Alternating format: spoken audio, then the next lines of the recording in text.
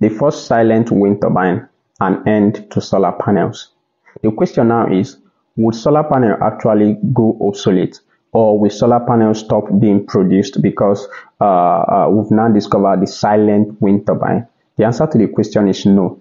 Yes, you have to note that solar panels have been in existence for long, so also wind turbine. Yes, wind turbine have been in existence for long, and yet solar panels are still being produced and are still being used.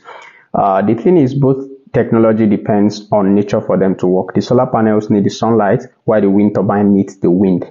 So you cannot scrap out solar panels because you've now gotten a wind turbine. What of the days that you know there will be no wind completely? Though the, the, the silent wind turbine doesn't need much wind for it to roll, but it still need wind. Yes.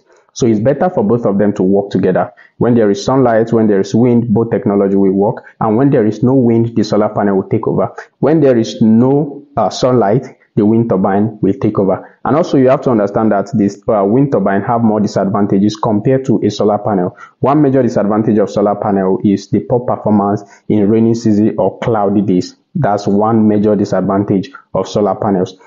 Then when you go to the other hand, which is, you know, the disadvantages of wind turbine, wind turbine have more disadvantages compared to solar panels. One, it's a mechanical, you know, technology. It have moving parts. The moving part needs to be oil once in a while. It contains coils, some other stuff to do the conversion, which might go bad within some period of time. So the wind turbine cannot take the place of the solar panels and the solar panels cannot take the place of the wind turbine.